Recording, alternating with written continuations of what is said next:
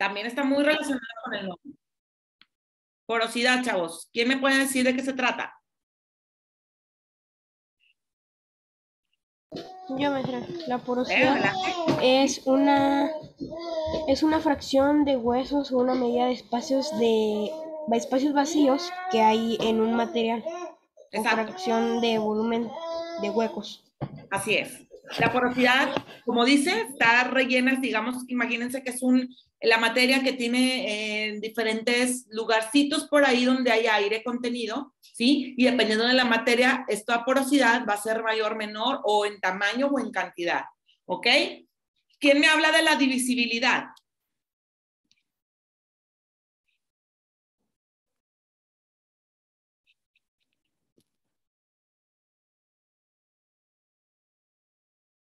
Chavos, ¿no hicieron la tareita? Sergio, a ver, adelante.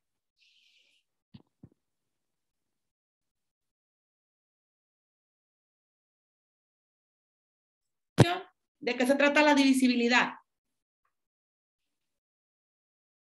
Oh, creo que lo tengo mal. Espera, espera, espera. Ahí, ajá. Ok, ok.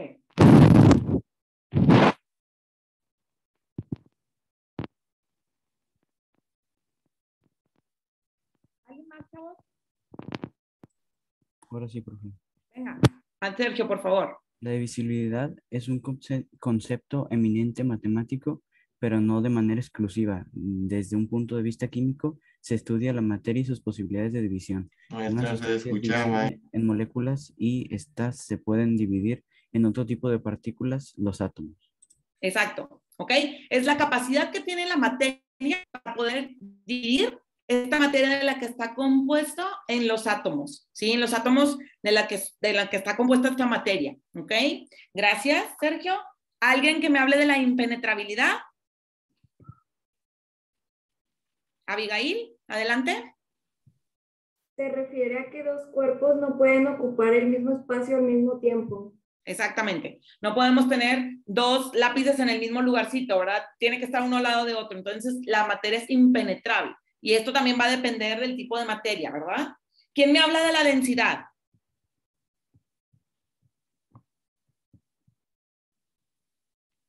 ¿Qué es la densidad, chavos? ¿Qué leyeron por ahí? Adelante. La densidad es de lo es lo denso o lo, lo pesado, se puede decir, que se siente algún material o hasta el aire. Pues hay veces que dicen se siente muy pesado el aire es porque se siente más denso el agua. Exacto. No es lo mismo, chavos, la densidad, por ejemplo, como mencionan del agua, la densidad del agua es un gramo, ¿sí? Un gramo por, se, se mide en volumen, ¿sí? Gramo volumen. Que, por ejemplo, la densidad del alcohol, el alcohol es, tiene una densidad mucho menor, ¿sí? Se evapora mucho más rápido, eso ya hemos hablado como un punto de, de ebullición. Entonces, la densidad es la cantidad de, eh, por ahí, de, peso, está relacionado con el peso que tiene una materia, ¿ok? Em, ¿Quién me habla de la solubilidad? La palabra lo dice y eso lo vamos a ver ahorita también en el tema. ¿Qué es la solubilidad en química de la materia?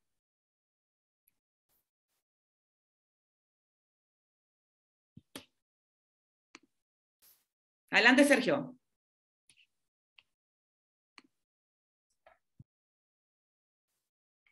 Eh, es la capacidad de una sustancia de disolverse en otra. Así es, ¿ok? Toda materia, gracias Sergio, tiene eh, diferente solubilidad, ¿sí? Acuérdense que hablábamos de, por ejemplo, el agua, el azúcar, eh, perdón, el azúcar y la sal, que para realizar una solución o una mezcla homogénea era muy fácil que se puedan disolver en el agua. Entonces, es la capacidad que tiene la materia para poder disolverse, ¿sí? A lo mejor puede ser en agua, puede ser en un solvente, puede ser, por ejemplo, un alcohol, ¿sí? Etcétera. Pero toda materia tiene una eh, solubilidad diferente y eso es dependiendo de eh, la capacidad que tienen los átomos de interactuar con, otros, ¿sí? La capacidad que tienen para compartir electrones. Es la capacidad que ayuda para que la materia se pueda disolver. ¿Ok?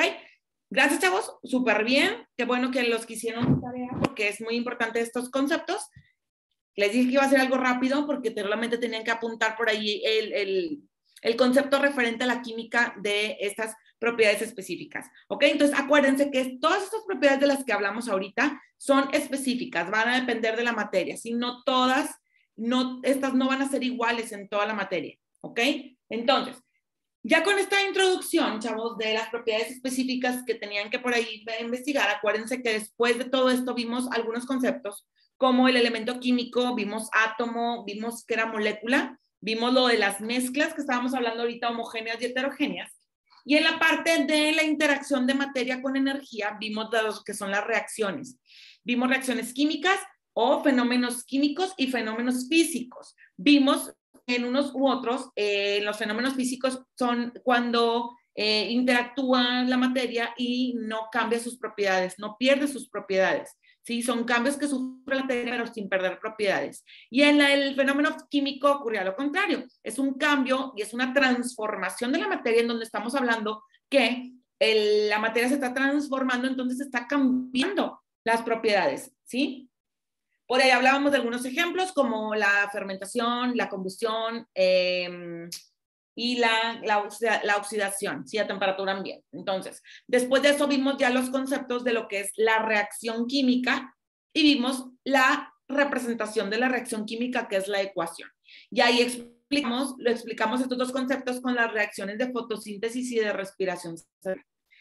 Ahora, vamos a entrar en el tema número tres, chavos, en donde vamos a hablar eh, de las manifestaciones que tiene la materia en cuanto a mezcla y separación. Mezcla ya lo vimos, ¿sí? Acuérdense que les dije que íbamos a ver también unas técnicas que se utilizan para separar las mezclas. Dependiendo de si la mezcla es homogénea o si es heterogénea, hay diferentes em, técnicas que se utilizan para poder separarlas. Ahora, fíjense bien. Antes que nada, vamos a recordar un poquito ¿A qué nos referimos con estados de agregación? Cuando hablamos de estados de agregación, acuérdense que el estado de agregación es una de las propiedades también específicas de la materia. ¿Qué, ¿A qué nos referimos? Si la materia es sólida, si es líquida o si es gas. ¿Sí? Ahora necesitamos ver qué, cuál es la diferencia, ¿verdad? En cada estado de agregación debe estar pasando algo con las moléculas que hace que eh, la materia pueda ser sólida o pueda ser líquida o pueda ser gas. ¿Ok? Em, ¿Tienes una pregunta, Joaquín? Sí, y pues si el plasma, ¿en qué parte del estado de agregación podría estar? El plasma es como un cuarto estado de agregación, pero como no se conoce en los estados de agregación, no hay ejemplos realmente porque el plasma es más en el universo, ¿sí? Que es más cuando estaban hablando de nebulosas y todo, han descrito como un cuarto estado de agregación, pero aquí, por ejemplo, en la Tierra no existe, ¿sí? Es más en el espacio, en el universo. Son las nebulosas y todo ese tipo de cosas en donde han observado que hay, por ejemplo, gas y hay a veces eh, cuestiones de, de humedad, entonces hay como que algunas mezclas por ahí. Entonces el plasma es más en el universo se considera como un cuarto estado de agregación. Pero aquí el más, el más, los kilos más comunes y aquí los que, los que vamos a nosotros a revisar son el sólido, líquido y el gas de la materia en general. ¿Ok? Fíjense muy bien qué pasa con los sólidos. Dice, los sólidos tienen una característica importante que dice que tienen una forma, ¿sí? Tienen una forma, tienen un volumen definido, ¿sí? Y dice que esto es gracias a que la atracción de las moléculas que están componiendo este sólido son muy fuertes. Entonces, las moléculas que están componiendo el sólido se unen muy fuerte o tan fuerte, estas fuerzas de atracción, que no le permite fluir, o sea, por eso es sólido, por eso está duro, ¿ok? Porque todas las moléculas que están componiendo el sólido están atraídas de una manera muy fuerte, entonces no se pueden mover tanto, entonces no hay capacidad de que se fluyan y se mueva, por eso el sólido es duro. ¿Ok? Ejemplos, todo lo que es sólido, chavos. Si tienen por ahí su lápiz, un papel, su celular, el, cualquier plástico, la madera, todos esos son estados sólidos. ¿Sí? Y eso es lo que pasa con las moléculas que están componiendo el sólido. Ahora, ¿qué pasa en el estado líquido? ¿Qué pasa con las moléculas del estado líquido? ¿Sí? Para empezar, la característica de los líquidos dice son tienen un volumen propio y van a tomar la forma del recipiente que los contiene, ¿ok? Eh, si nosotros echamos eh, un agua, el agua, en un recipiente cilíndrico, pues va a tomar la forma cilíndrica el agua. Si lo ponemos en uno cuadrado, va a tomar la forma cuadrada, ¿sí?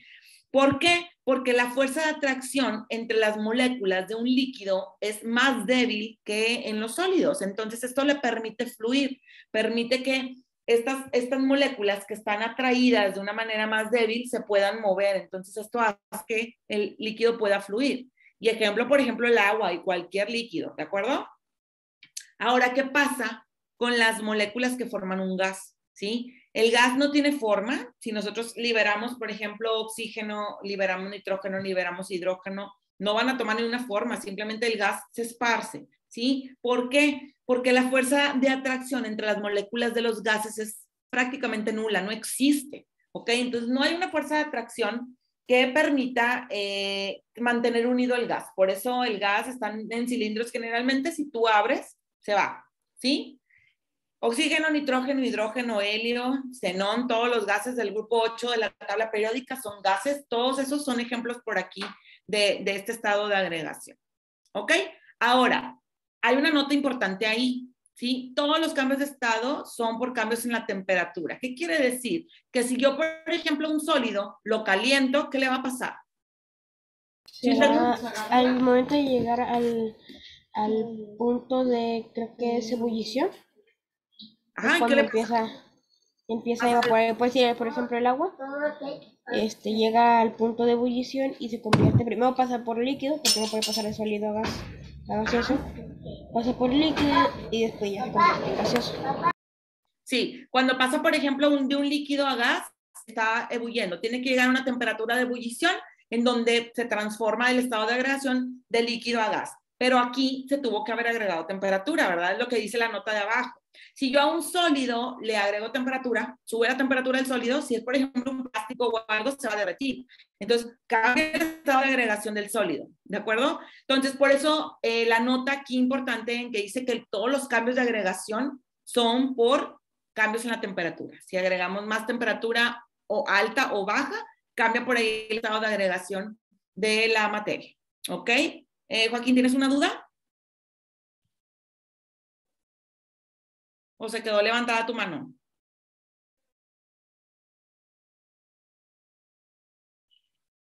Joaquín, ¿no? Ok.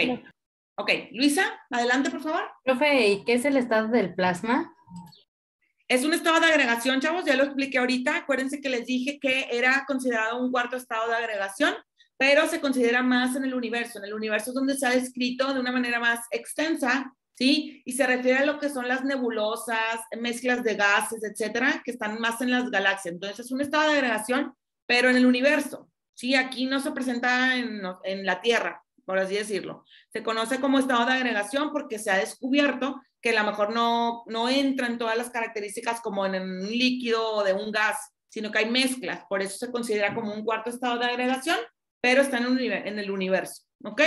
Les dije ahorita que aquí vamos a considerar solo estos tres, que son los que nos competen más, porque la materia generalmente eh, tiene estos, este, o sea, tiene uno de estos tres, la materia en general.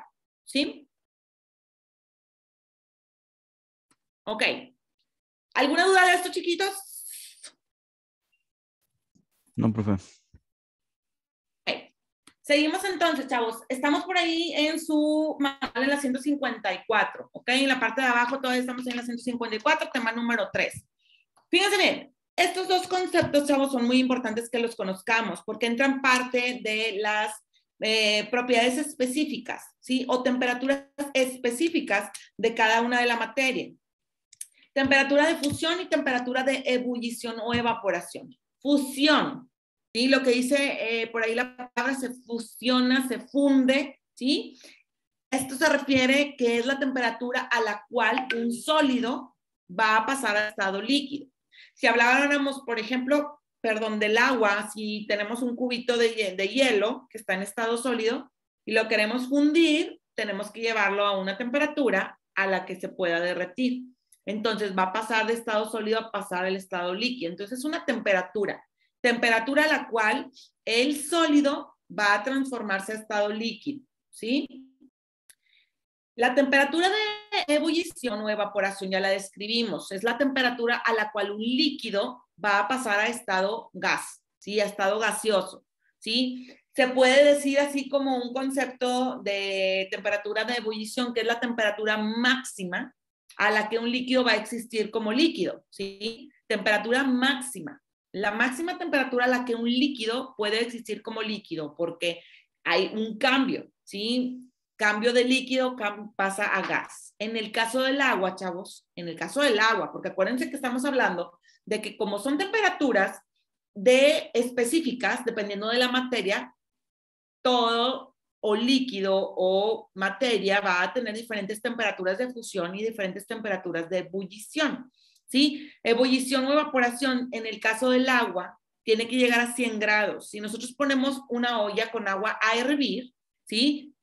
Le prendemos por allá la estufa, tiene que llegar a una temperatura de 100 grados y en ese momento nosotros vamos a empezar a observar que está cambiando el estado de agregación de líquido a gas, ¿sí? Donde se empieza a evaporar. Si nosotros, por ejemplo, consideráramos, ¿qué pasa, chavos? Ahorita, ahorita se utiliza bastante el gel antibacterial. El gel antibacterial, la mayor parte de la composición del gel es alcohol, ¿sí? ¿Qué pasa, por ejemplo, si ustedes eh, utilizan, se mojan las manos con agua? ¿Cuál es la diferencia entre mojártelas con agua y, y ponerte alcohol? ¿Qué pasa con el agua y qué pasa con el alcohol? Así a temperatura ambiente. No estoy hablando que se sequen las manos del agua, ¿sí? ¿Qué pasa con el, con el gel antibacterial que es alcohol. Te lo pones en las manos, te quedas así tantito ahorita a temperatura ambiente, que estamos hablando, no sé, 30 grados, ahorita aquí en Monterrey en promedio. Se hace, como... Se hace como más este... Se seca o se hace más pegajoso, Se seca, se, se hace pegajoso, pero fíjense bien, se hace pegajoso porque el gel antibacterial trae otros componentes, ¿sí? Trae otros componentes por ahí, trae glicina, trae unos tensoactivos, etcétera, para las manos, ¿sí? Pero el alcohol-alcohol, que es el, el, la materia prima básica y en mayor, mayor cantidad que tiene el gel antibacterial, lo que pasa es que se evapora. ¿Por qué? Porque su punto de ebullición es mucho más bajo que el agua. No tiene que llegar a 100 grados centígrados el ambiente para que se nos evapore, ¿sí?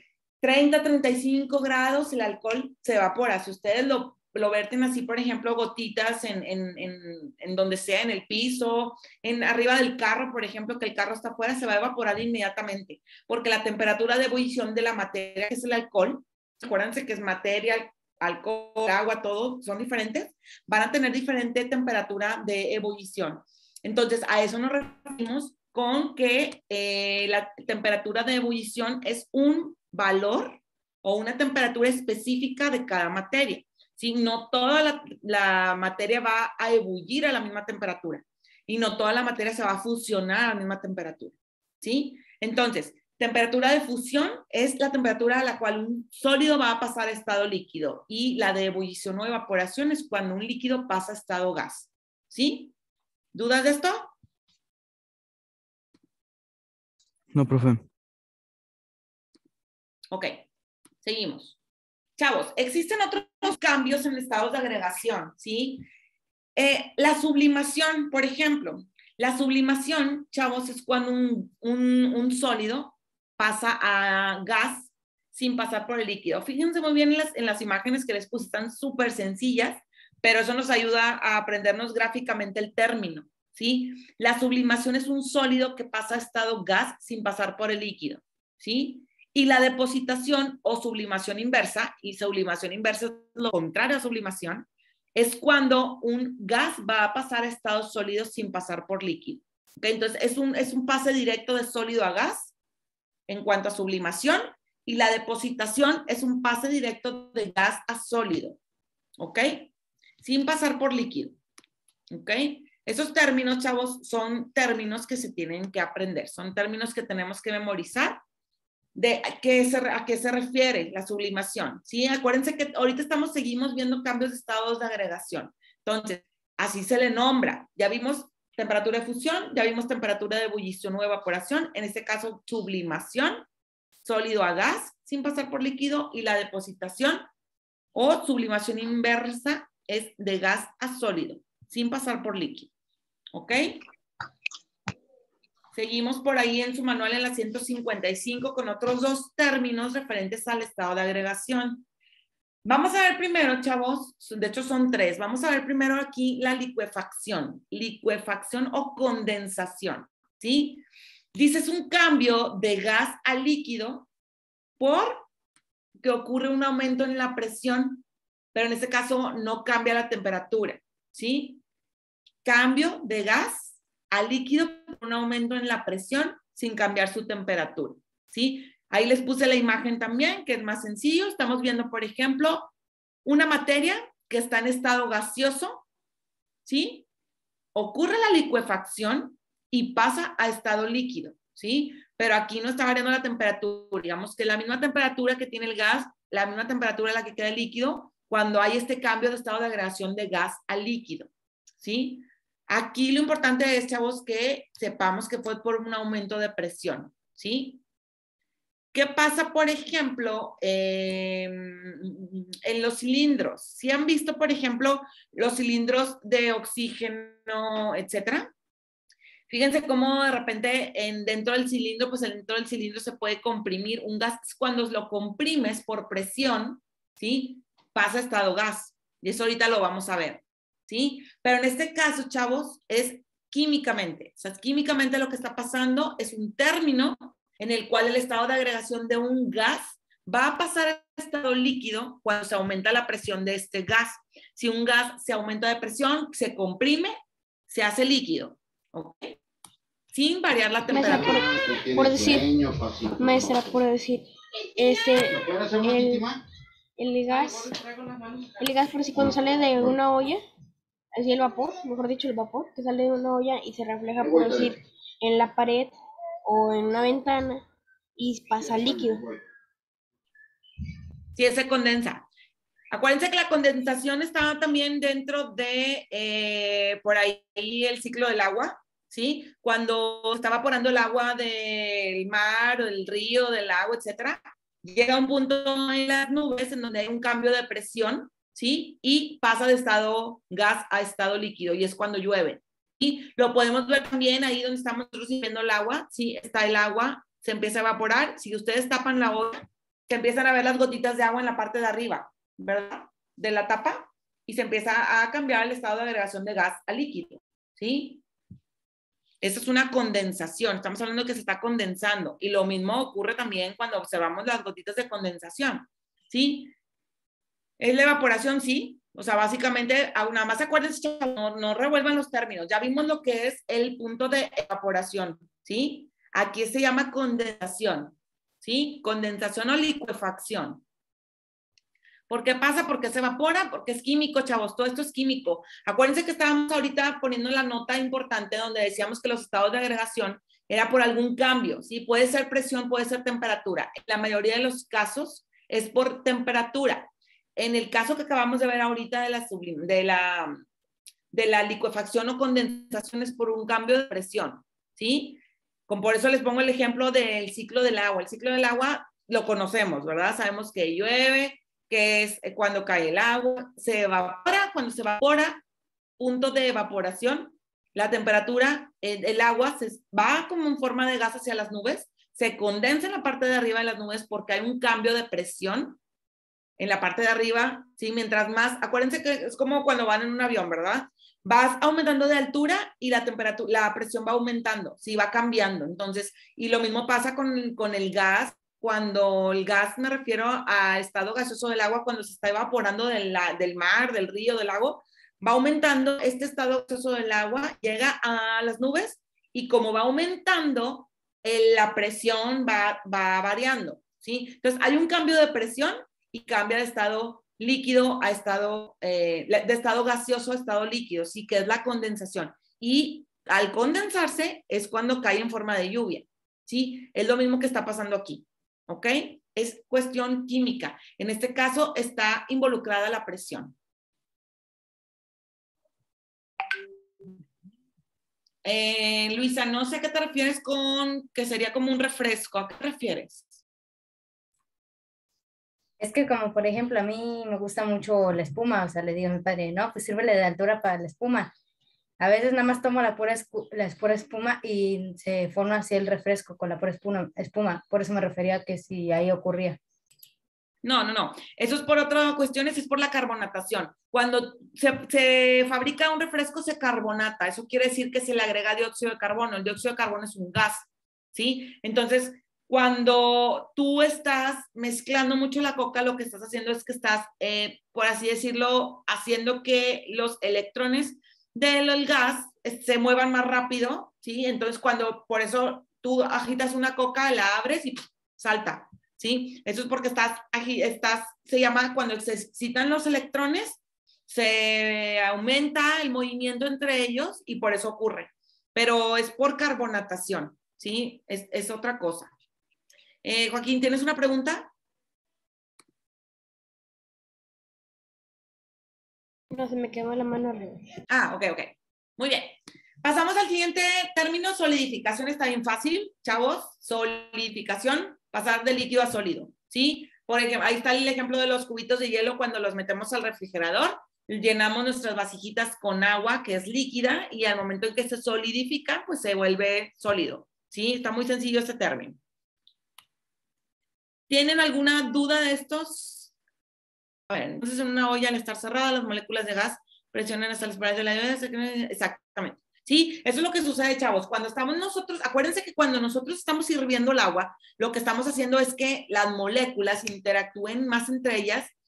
Al aumentar la temperatura, las moléculas empiezan a moverse cada vez más rápido, más rápido, más rápido, más rápido. ¿Sí? Entonces, hay un aumento también de la presión al momento en que se condensan porque la fricción es otro de los términos también que ocurre con las moléculas. Esto ocasiona también que sea más sencillo que las moléculas puedan eh, cambiar el estado de agregación. Entonces llega un punto en el que son tantas, es lo que ocurre en las nubes, hay mucha presión y, caen, en, o sea, la depositación es en forma de, de lluvia.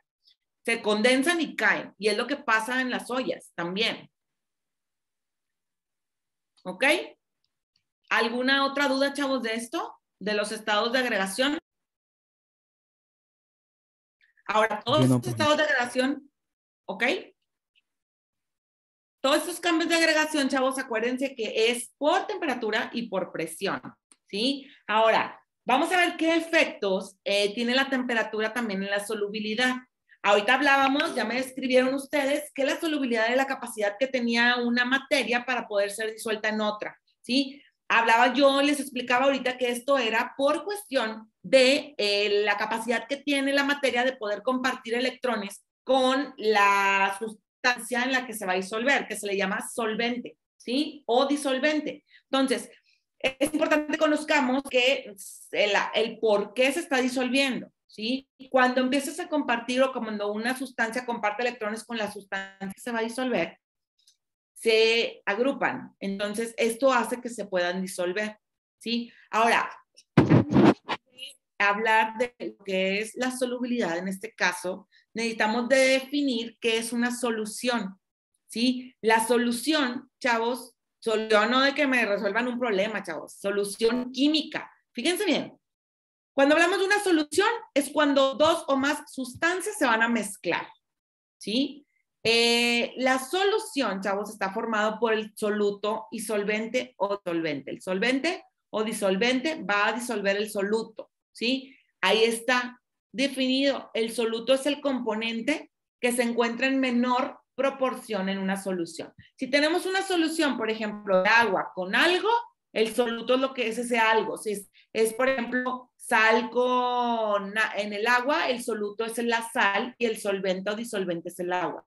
Si vamos a disolver azúcar, el azúcar va a ser el soluto que va a estar disolviéndose en el agua. Entonces, por eso se le define como el componente que se va a encontrar en menor proporción en una solución. ¿Sí? Solvente o disolvente viene por ahí también. Es el componente que se encuentra en mayor proporción en una solución.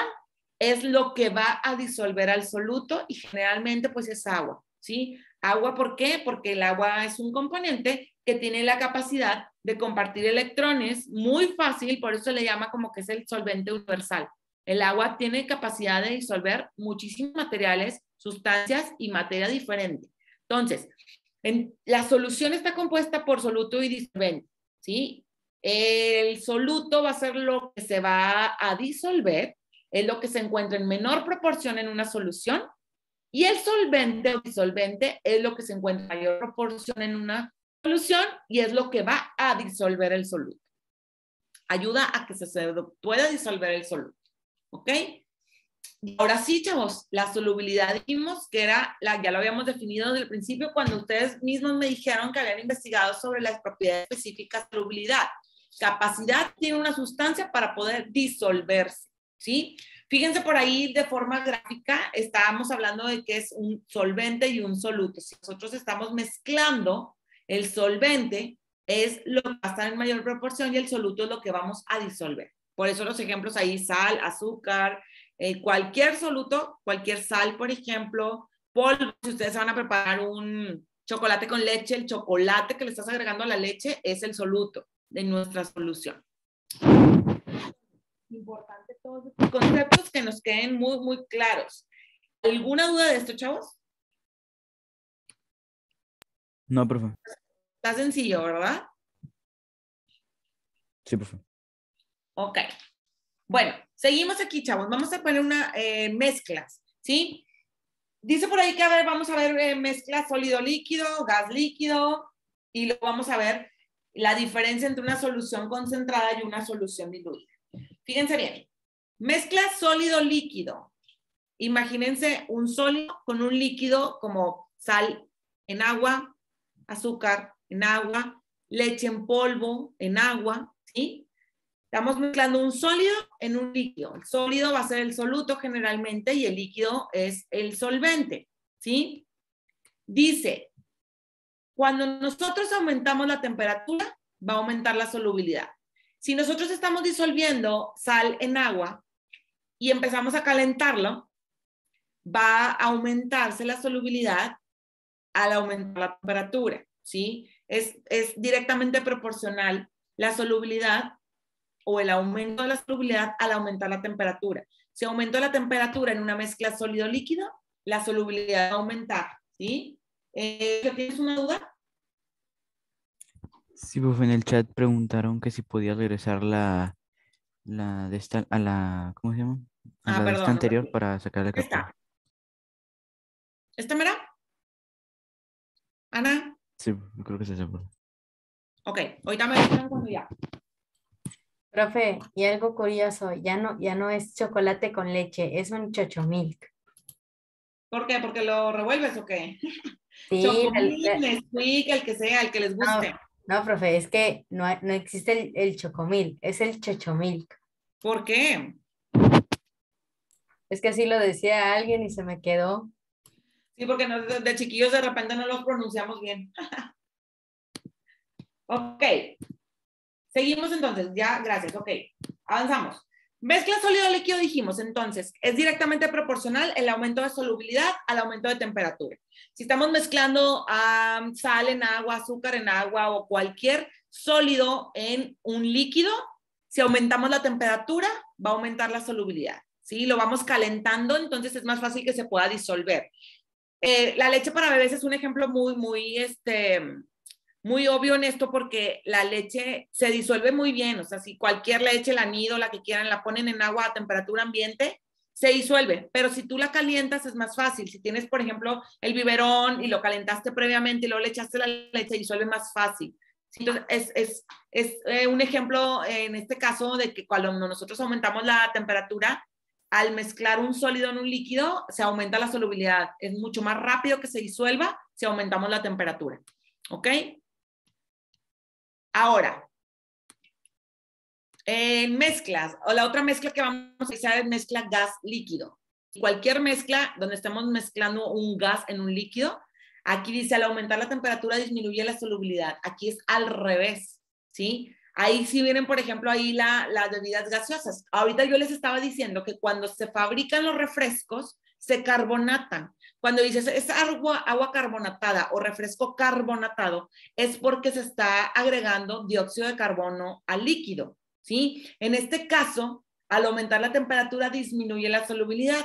Chavos, a lo mejor ahorita no lo saben o a lo mejor sí, porque a lo mejor conocen a alguien que trabaje, por ejemplo, en una refresquera pero cuando se está carbonatando, cuando se está carbonatando eh, los refrescos, están las botellitas o las latas o el líquido, está pasando eh, en las bandas donde se va transportando la botella o la lata, etcétera. Y la coca está helada, chavos. Le bajan tanto la temperatura que la puedes tomar así tú de la banda, te la tomas y está helada, bien rica, ¿sí? ¿Por qué pasa esto? ¿Por qué lo hacen adrede, chavos? Porque cuando se carbonata, cuando están agregando el gas al líquido, se disuelve o se solubiliza mucho más rápido que si estuviera o que cuando está el refresco a temperatura ambiente o con una alta temperatura. Entonces, eh, acuérdense de ese ejemplo de los refrescos, de lo que les estoy platicando. Yo estuve trabajando en industria mucho tiempo y me tocó ir a refresqueras y por eso les lo sé, les los digo, cuando están carbonatando, la temperatura del líquido es sumamente bajo, ¿sí? Porque esto facilita que el gas se pueda solubilizar en el líquido, ¿ok? Entonces, hablando de una mezcla sólida líquida, si nosotros aumentamos la temperatura, aumenta la solubilidad. Y es lo contrario en la mezcla gas líquido, ¿sí? Que eh, cuando está tratando de solubilizar o de disolver un gas en un líquido, la solución es bajar la temperatura para que pueda aumentar la solubilidad. ¿Ok? Eh, Luisa, ¿tienes alguna una pregunta? Profe, ¿y el nitrógeno sería mezcla sólido-líquido o gas líquido? ¿Cómo sería el nitrógeno? ¿El nitrógeno en qué? ¿Nitrógeno en qué? Eh, pues en general es que recuerdo que una vez fui al médico por no sé qué y tenían en un termo así, luego, luego se le veía todo el hielo alrededor, el de nitrógeno, pero cuando lo servían luego luego se evaporaba, por eso Lo que pasa es que el nitrógeno, el nitrógeno, acuérdense que es un gas también, ¿sí? Existe nitrógeno líquido, ¿sí? Acuérdense que hay cambios de estado de agregación. De pasar un gas a un líquido, ya lo vimos. ¿Qué, ¿Cómo se llama? ¿Cómo se llama ese cambio de estado de agregación de pasar de líquido, de, gas a líquido, chavos?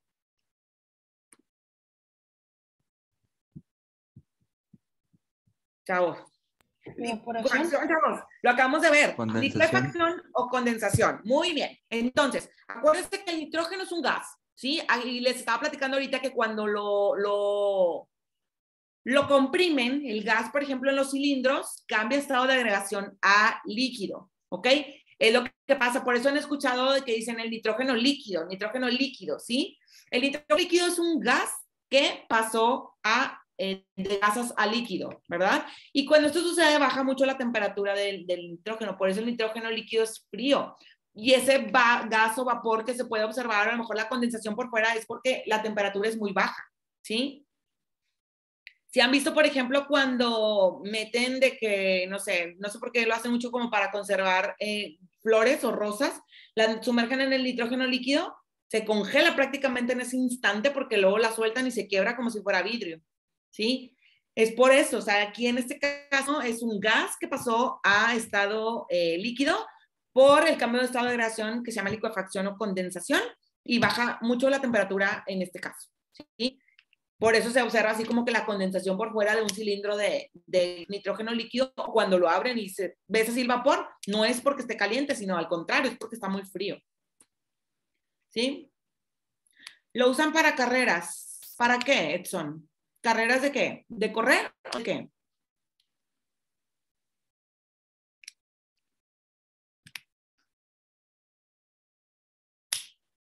Maestra, tengo una duda por decir. Ahí dice que el. Espera, espera, espera, Déjame ver para de resolverle a Edson. Espérame, espérame. Que el carro vaya más rápido. Ah, eso sí no sé, Edson. ¿Lo utilizan en las carreras para eso? Eso sí te la debo porque no, no sé, no soy muy fan, yo creo, de las carreras porque no le he investigado. Anticongelante, no, es otro que es otra cosilla. Es otra cosa, Luisa. Sí. ¿Quién más tiene otra duda para continuar? Yo, por decir, este, hay, dice que el frío quema. Sí. Acuérdense que los tejidos, la piel tiene una temperatura también, un rango de temperatura que aguanta. Si tú, por ejemplo, em, metes la mano al congelador o al frío o a la nieve, te quema porque pues es temperatura baja que está afectando el tejido, como cuando le aumentas la temperatura al tejido de la piel, ¿sí? Es diferente. Yo tengo otra duda. A ver. Porque cuando te pones un hielo en la mano y luego te pones sal, te quema. Porque disminuye la temperatura. Por eso, chavos, cuando, de hecho, lo utilizan mucho la sal para aumentarla un poquito y quitarlo. ¿No se han fijado cuando hace mucho frío? Aquí no, ¿verdad? Porque aquí no neva tanto.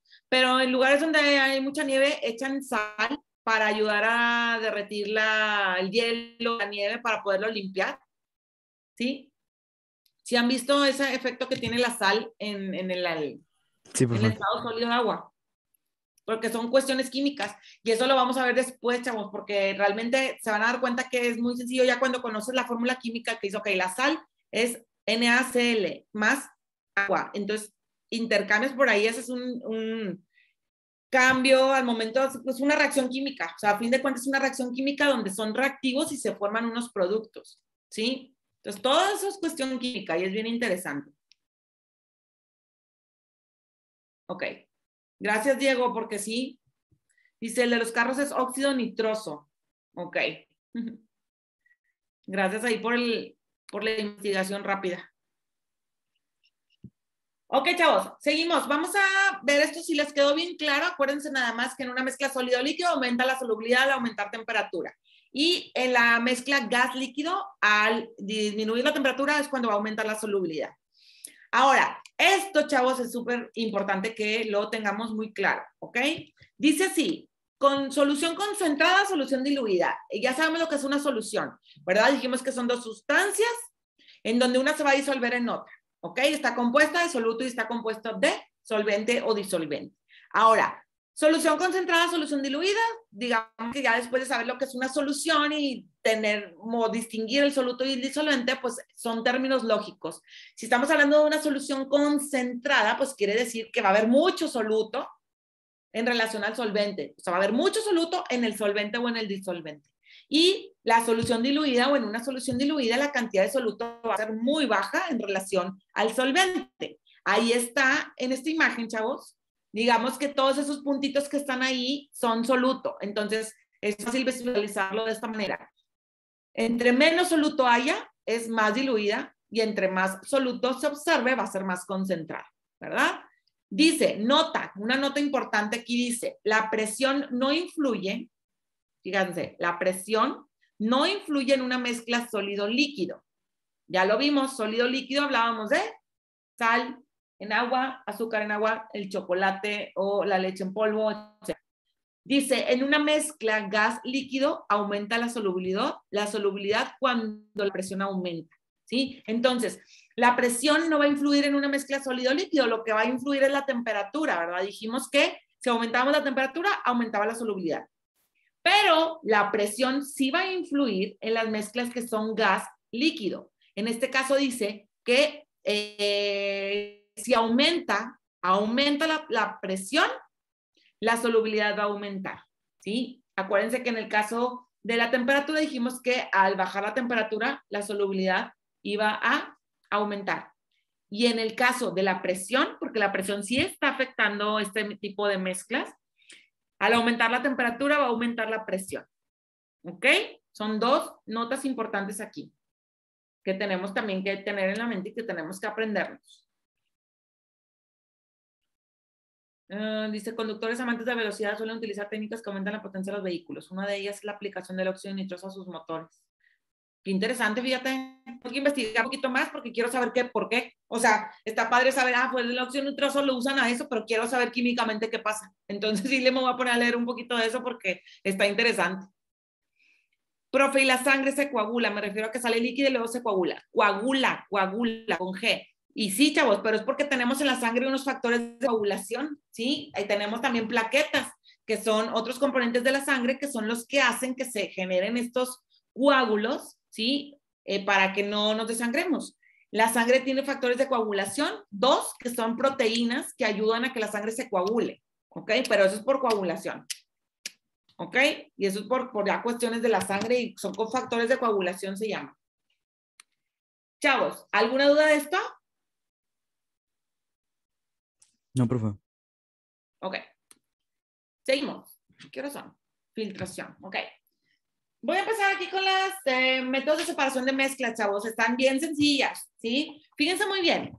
Les hablábamos yo de que pues, ya sabíamos lo que era una mezcla, ¿verdad? Dijimos que eran dos o más sustancias que están, eh, o sea, están juntándose y que dependiendo de si podemos distinguir los elementos que contienen la mezcla es homogénea o si no, si, si, si no los podemos distinguir, perdón, es homogénea y si se pueden distinguir, eh, son la mezcla heterogénea.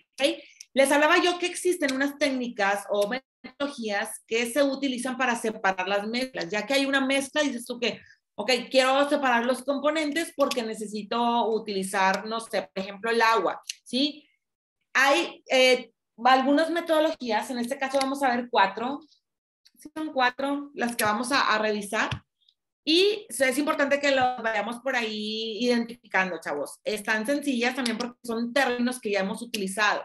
Fíjense lo que dice de la filtración. La filtración es la primer método de separación de mezclas que vamos a ver. Aquí eh, se utiliza cuando las mezclas son sólidos en una suspensión, ¿sí? Se utiliza un papel filtro o, o algún material, chavos, que nos ayude a filtrar. Pueden ser filtros de tela, la tela, acuérdense que va a disminuir, hay, telas que tienen el poro, poro más amplio o ancho que otras, entonces de repente se utiliza el magitel en, en los laboratorios. Cuando hacemos algunos experimentos donde queremos filtrar, utilizamos la tela magitel, la de la cocina. Hacemos los eh, cuadritos, los cortamos, los ponemos, por ejemplo, en embudo y ahí vamos vertiendo la solución y se va quedando en la parte del magitel, en la parte de arriba, lo que es sólido y pasa al vaso precipitado lo líquido, ¿ok? Entonces, por eso dice, se utiliza cuando hay unos sólidos en una suspensión o en una solución, ¿sí? En la industria, chavos, se utilizan mucho los filtros de carbón, ¿sí? Que son como las derecha o filtros de arena, filtros de piedra. Hay combinaciones, chavos, sí, que se puede utilizar solamente el filtro de carbón, se utilizan filtros de arena, filtros de piedra. Si se fijan, chavos, la diferencia entre un filtro de carbón, el de arena, piedra, es la distancia que existe entre el carbón, la arena o la piedra, ¿sí? Entonces, gracias a esto, partículas sólidas de diferentes tamaños se pueden ir quedando atrapadas en estos tres tipos de filtro. ¿sí? Obviamente la arena, que están mucho más compactos, pues se van a quedar los sólidos que sean más pequeños. ¿Sí? Porque por el carbón a lo mejor pasan estos sólidos que son más chiquitos, pasan y se, quedan más los sólidos grandes y a través de la arena se quedan atrapados lo que son sólidos más chicos y la piedra todavía más sólidos, ¿sí? ¿Para qué se hace esto? Para, por así decirlo, separar, separar por ahí los sólidos que están en la solución o en la suspensión se pueda obtener el líquido o el solvente de manera pura, ¿sí? Eh, aquí, por ejemplo, pudiese eh, quedar en la parte de abajo el agua. Ya después de que se filtró, se limpió el agua, se purificó el agua, como quieran ustedes de llamarlo, eh, porque los sólidos se están quedando atrapados en los filtros. Entonces se puede recuperar el agua por ahí cuando tenemos una suspensión o una solución donde el solvente es el agua, ¿ok? Y se puede reutilizar, ¿ok? Entonces, esta es la filtración. Vamos a dejarle hasta aquí, chavos, para que no, no nos pasemos de la hora, ya porque ya son las seis, ¿sí? Entonces, la siguiente clase vamos a seguir con los métodos de separación que están en la página 155, ¿ok? Nos vamos a ver el miércoles, nosotros tenemos clase el miércoles eh, a las 5 de la tarde. Entonces, para este miércoles, chavos, les pido los que no han terminado de leer el contenido, lean contenido ya que resta. Si es muy poquito, vamos a tratar de ver, digo, de todas maneras vamos a acabar hasta el otro lunes porque el otro miércoles es nuestro examen.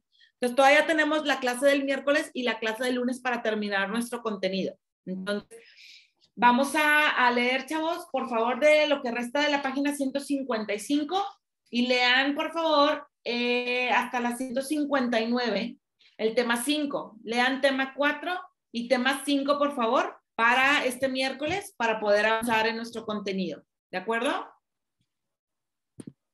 Ya por ahí está por ahí en el chat el link de asistencia para que se vayan apuntando. ¿De acuerdo? Bye, profe, cuídese. Bye, profe, Ustedes también. buen día.